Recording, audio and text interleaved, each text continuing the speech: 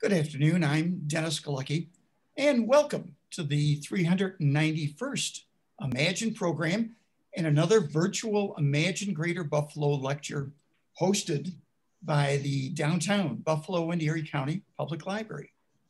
Thank you so much for joining us today. The program is created by the Center for the Study of Art and Architecture, History, and Nature, or I pronounce the acronym Cezanne, and imaginelifelonglearning.com.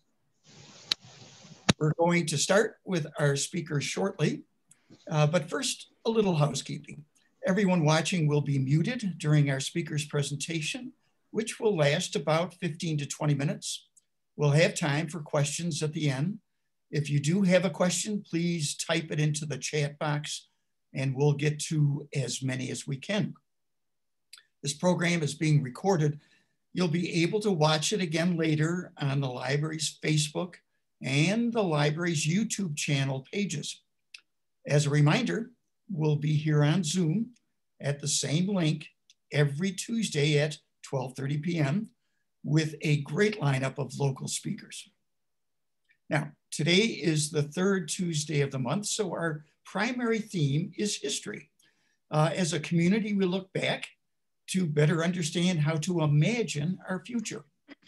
For several years prior to last March and COVID 19, the Noon Hour Imagine series had a video from the Great Courses series. A total of nine videos were screened uh, tied to our weekly themes. Today's featured speaker is Reverend Joan Montagnes, who was scheduled to speak following the screening of the video Emerson, Thoreau, and the Transcendentalist movement. This video and other great courses videos used in the Imagine series are, is available for rental from the library. The Reverend Joan Montagnes was raised in Toronto, Ontario. She received a Bachelor of Science from the University of Toronto, a Master of Science from the University of Alberta, and a Master of Divinity from Meadville Lombard Theological School. Over the last 26 years, Reverend Montagnes has served congregations in Edmonton, Alberta, Beaconsfield, Quebec, Toronto, Ontario, Wenatchee, Washington, Moscow, Idaho, and Bellevue, Washington. She began serving the Unitarian Universalist Church of Buffalo five years ago in 2015 and continues there to this day, much to our community's good fortune. And now let's welcome Reverend Joan Montagnes, who is going to talk about Unitarian Universalism. Joan? Hello, everybody. I am Reverend Joan Montagnes, and I have the pleasure and the honor of serving the Unitarian Church of Buffalo. I'm going to tell you a little bit about us, our history, our theology, and our practice. That's our church, by the way, and our bell tower. And yes, we do have bats there. But first, before I go into the uh, ba- the whole history, theology, and whatnot, I want to give you a backstory. And in fact, before we even do that, I want to talk about some definitions. And the first one is because people generally can't even say our name, let alone know what it means. I'll tell you what a Unitarian is. A Unitarian is someone who believes in the unity of the Godhead, not the Trinity, not the Father, Son, Holy Spirit, but that there is a single God in the Godhead. A universalist is someone who believes that God is so loving that everybody gets to go to heaven. We like to call ourselves the no hell church. and then I want to even take a step further backwards and define the word religion. It comes from the Latin religare. And religare means to yoke or to bind again. So it, it, it's related to that same word ligament, like the word that links your uh, the bones to the muscle. And so we have religare, meaning what we bind what binds us together religion is what binds us together and most religions are bound together by a creed or a set of doctrines or a set of rituals. That is not quite true for unitarian universalists. And i'm going to go into that a little bit later. All right now to the backstory. Once upon a time in the misty watercolor days of prehistory, someone got the big idea that monotheism could be the way to go. Maybe there is just one God. And I don't know where to start this story, so I'm just going to start it at zero CE for the heck of it. And we'll say at zero CE, Jesus was born. Uh, Jesus was born, he was born into a monotheistic religion, and then he died.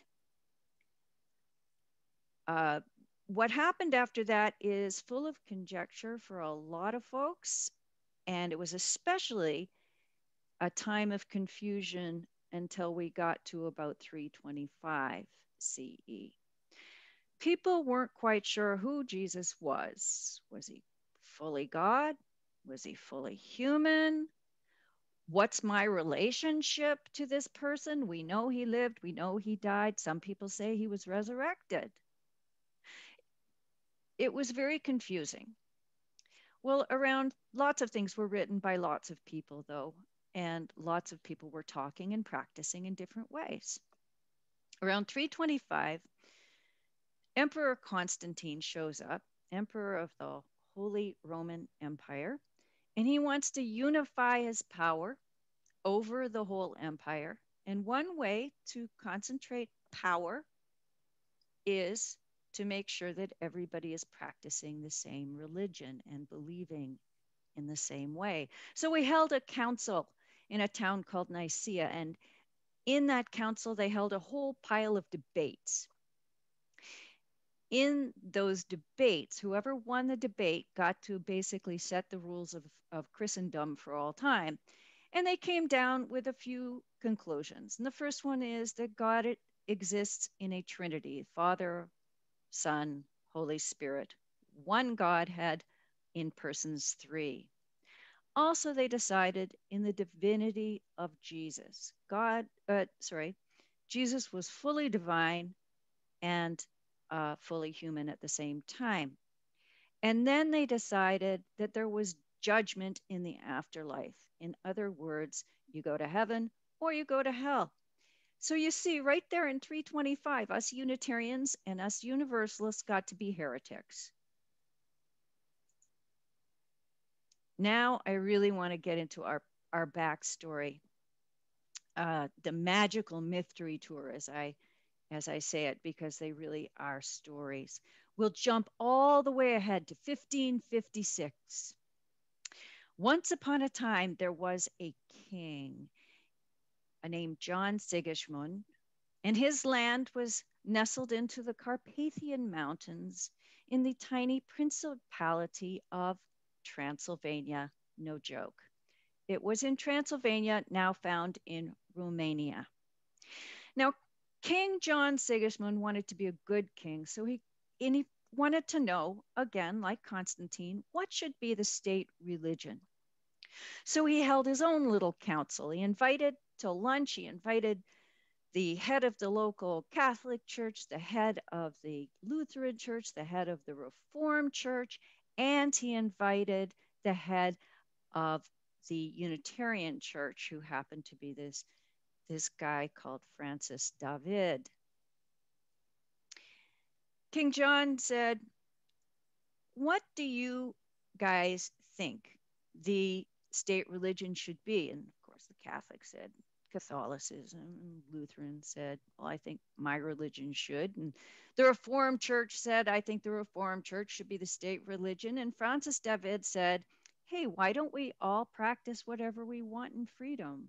Why don't we have a state where you can worship as you feel fit? And indeed, that is what happened. King John Sigismund converted to Unitarianism and he also wrote up the first edict of religious tolerance in Europe.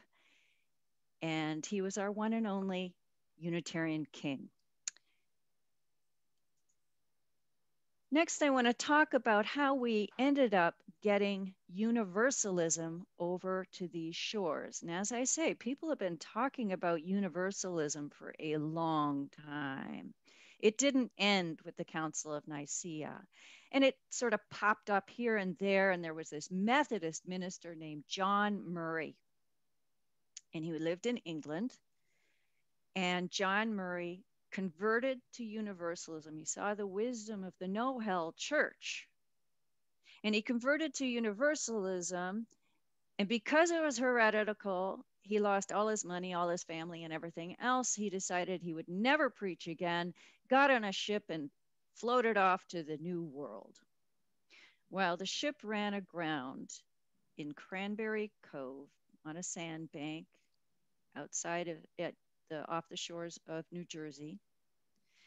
And so they did a little shore excursion, waiting for the water to come back in, the tide to come back in and free the boat. And so John Murray went ashore and he walked through the woods into a clearing and he found this meeting house. And there was a man there named Thomas Potter. Hey there, ho there, says John Murray. What kind of meeting house is this? And Thomas Potter says, I built this meeting house and I'm waiting for a preacher who will preach the everlasting good news of universal salvation.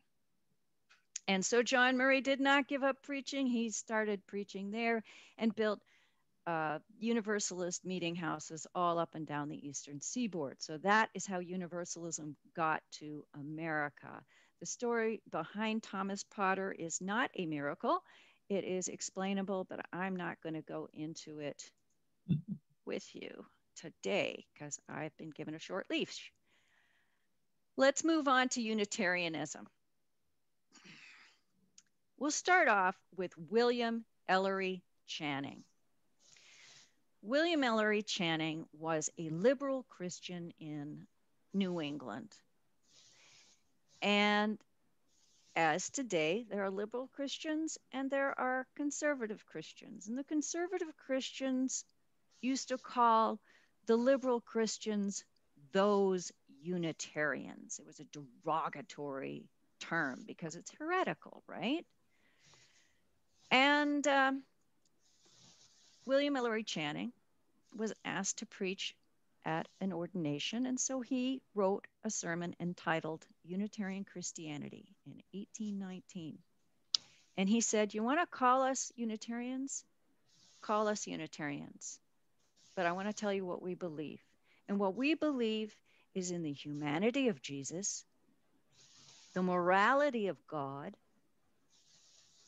So God doesn't damn people for no good reason. And use your head when you're interpreting scripture and for that matter everything else. So god so jesus is not divine. Jesus was a man morality of god and reason in scripture. That was william ellery channing's great gift to liberal religion here in the united states. Next you might have heard of this guy ralph waldo emerson yes he was a unitarian minister and he was asked to preach the Harvard Divinity School address in 1838. Some of you may be familiar with that. Uh, and he introduced the concept in this Divinity School address of transcendentalism, that concept that, that the spirit within is connected to a larger spirit without. He also talked about in that address that we should be trusting our own experience and intuition more, more than anything that anyone can teach us through words, through preaching, through scripture, that sort of thing. Trust your own experience and intuition because that is the divine light. And then he, and this is where we began to get the idea of the inherent worth and dignity of every individual is very important to us as Unitarian Universalists. It's our first principle. And of course, Emerson went on to talk about self reliance, and that also uh, fit into our, our concepts of rugged individualism, which has also been a real weak spot for us Unitarian Universalists. And the third person in the pantheon of, of our uh, founders in New England was poor old Theodore Parker. Theodore Parker is such a young guy, and he was following in the footsteps of Emerson. He was sure he was doing that. And he preached another ordination sermon in 1841, the transient and the permanent in Christianity. And he didn't think he was doing any big deal. And he, but this is what he said. And remember, this is this is early on. He was saying, he said, you know, in religion, the transient are all those rituals, all those scriptures, all those councils, all those creeds, all those doctrines, all those practices. They're just dust in the wind. The only thing that is permanent in religion and in Christianity is love of God and neighbor. And he brought forth this concept of social practice, social justice as faith practice which we hold very dearly to today. Now, at the time, that was so rad, so radical, that he was completely blacklisted and unable to preach in other pulpits in New England. And I just want to give you some more final historical milestones 1863, Olympia Brown was ordained, first woman ordained in the United States, ordained by St. Lawrence College, and, which is a Universalist college, although she was a Unitarian. 1933, the Humanist Manifesto was signed, written and signed by Unitarians and Universalists. And what this manifesto says is that you do not need God to be religious. You can be a person of faith and not necessarily worship God. And you know, once you do that, you open the floodgates and so into our churches started filing, well, atheists and agnostics and pagans and Buddhists and Jews and Muslims and on and on, Taoists, on and on it went. And that is, in fact, true today. That if you come to our church, you will find sitting in all the pew- pews a diversity of theological stances because we are not held together by doctrine or dogma or creed. We are held together by covenants of mm, relationship and faith.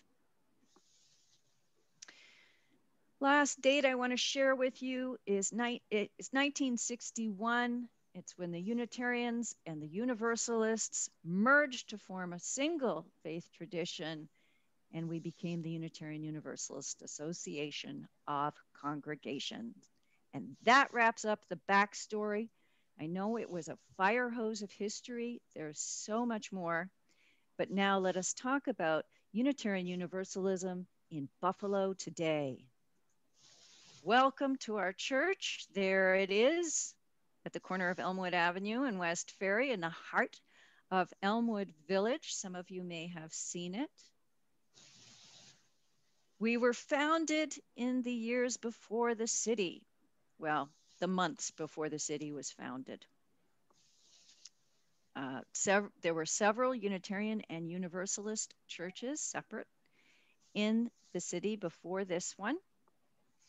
The land was uh, the last remnant of the John Albright estate.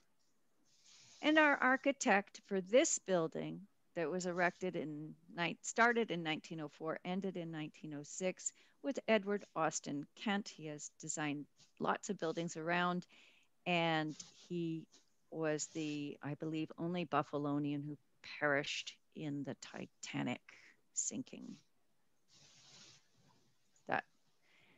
Our architecture little talk about our architecture because it's it's kind of surprising it is both english country gothic revival and arts and craft So let's talk about what does it mean to be English country Gothic revival.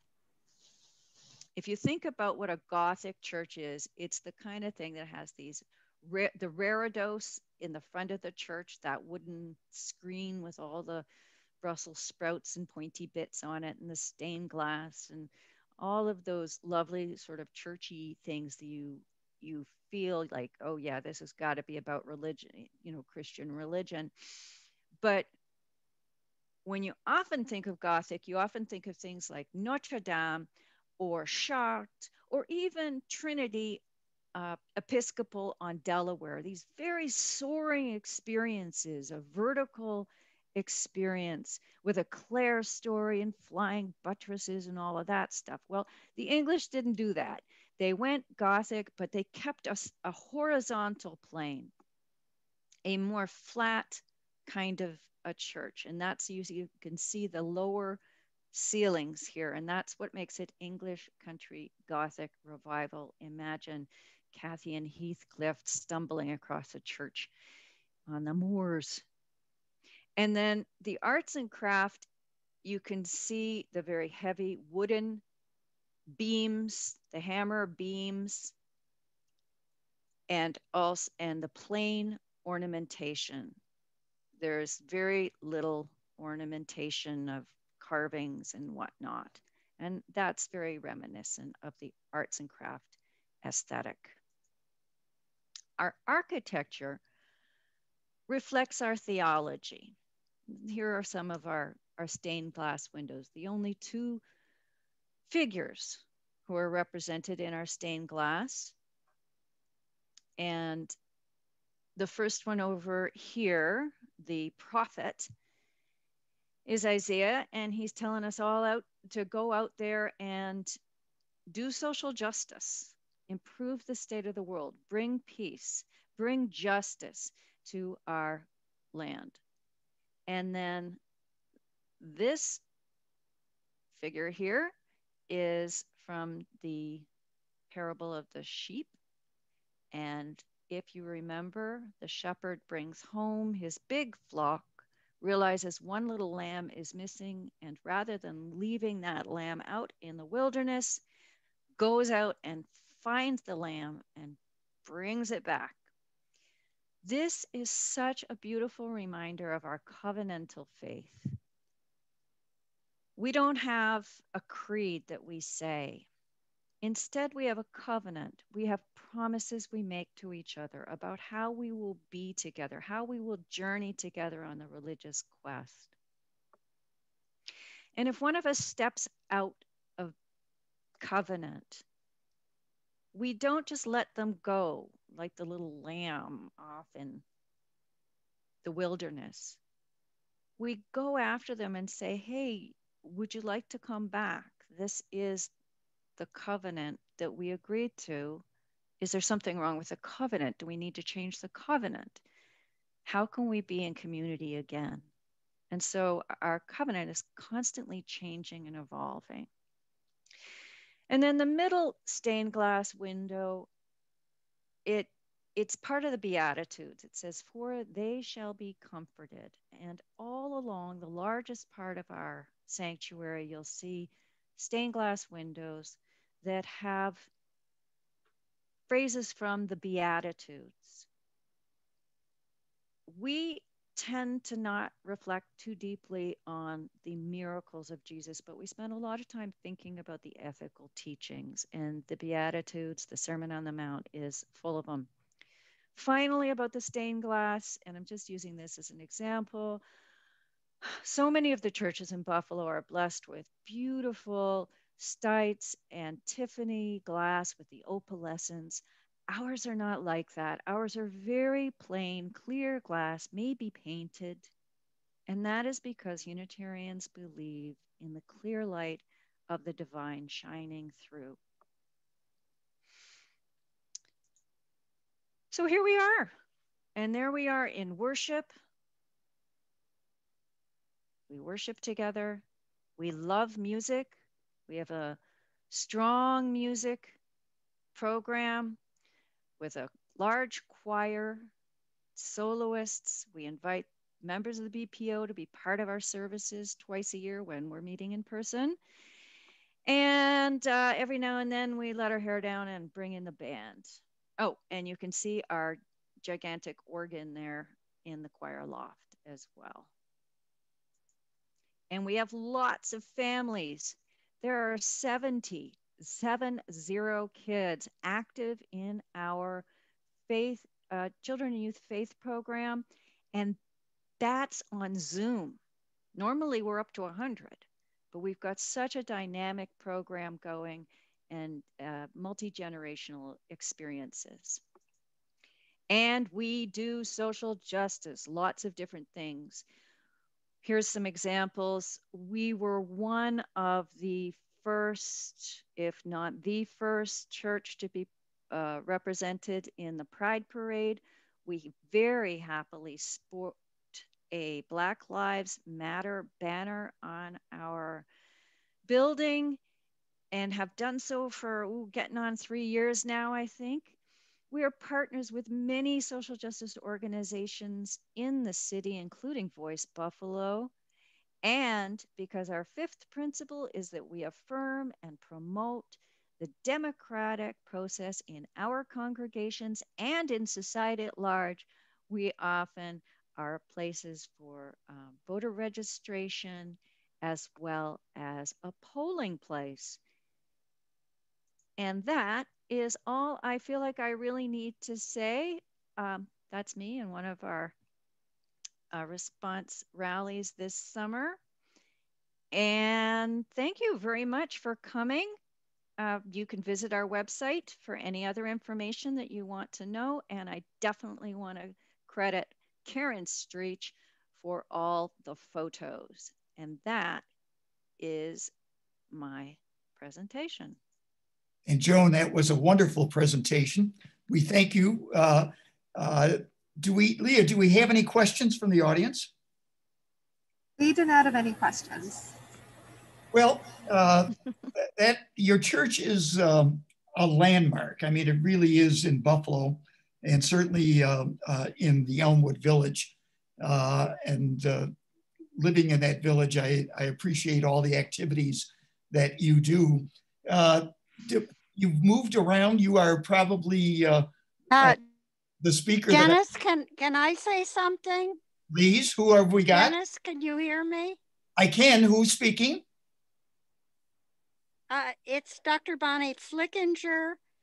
And I think that it was my children's great grandfather that saved the church during the Depression. I think he contributed $30,000 so the church would not go bankrupt. That's a wonderful backstory, uh, Dr. Flickinger. That um, Bonnie, thank you very much for that. Uh, we, are all beneficiaries of his generosity. Let's put it that way. Um, and that's really why I do this Imagine series. Uh, we are where we are. We're going someplace. We imagine what that is, but we need to appreciate uh, that it's always on the shoulders of a lot of people that have uh, done things. Uh, most of them we will never know about, but that's one interesting detail, Bonnie, that uh, uh, we appreciate knowing. Uh, anybody else have something? Because I do have to wrap it up. We have time constraints. Um, and so I will. we do have one question. Go ahead. Um, they say, please define Godhead as compared with God. Did you hear that all right? Yes, yeah, I did. All right, so, huh, that's a really good question. So the Trinity is often described as the Godhead in that it is, it's this personage, but it's in three people. And I don't actually know the difference I wouldn't necessarily say functionally or theoretically there is a difference. God exists in three and in one at the same time. That's part of the Christian mystery in the Trinitarian faith. The Unitarians felt that that, that mystery was too complicated and didn't make a whole lot of sense to them, and so they rejected it. And that's been going on, as I say, since 325 and before. Mystery is a good word. Uh, there's an element of that, certainly, and that's what faith is uh, the belief uh, to a degree in mystery. Uh, the unity of the Holy Spirit is what Christians often pray to. So um, that seems to hold uh, certainly yourself and and uh, and quite a bit, and just about everything else in that spirit. So, boy, thank you for joining us today. And thank you, Joan, for a, a, a, great presentation. We so appreciate this new format. Uh, join us next week, same time, same Zoom link, when we talk with uh, John Zach. Uh, many of you will remember him as uh, involved with the media. Uh, he's the author, most recently, of The Day the Buffalo River Burned, uh, which was dedicated to the efforts of the late Stan Spisiak. I'm Dennis Galucki. Be well and have a great afternoon.